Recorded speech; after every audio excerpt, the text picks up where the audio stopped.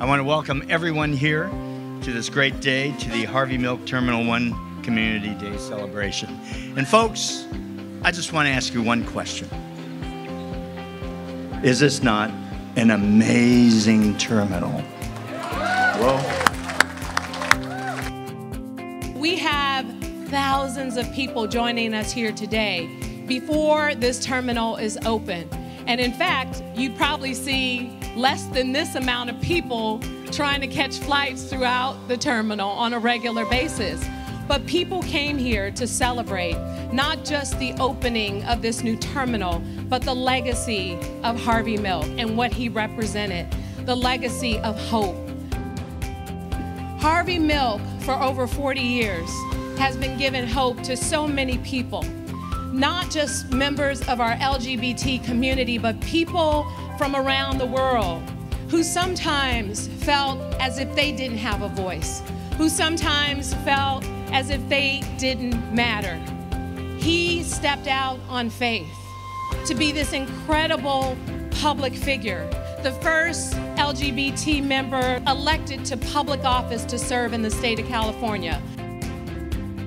Another special thing that San Francisco International has been known for and set the standard for is in, in all of local restaurants. And I'm just really pleased with all of the new offerings we have. And that continues to elevate SFO as that, that standard in the industry for local quality food offerings. Today we have five new artworks that are were site specific, especially created for this airport. One of the most incredible art collections in the country. But you know, this artwork is just incredibly well integrated into the terminal and it's not overwhelming. It has a very human scale and it gives you again that it just reinforces that feeling of San Francisco. Um, and of course, our design builders have been so fantastic to work with and delivered just such exceptional, exceptional work. We're very pleased with how this has all come together.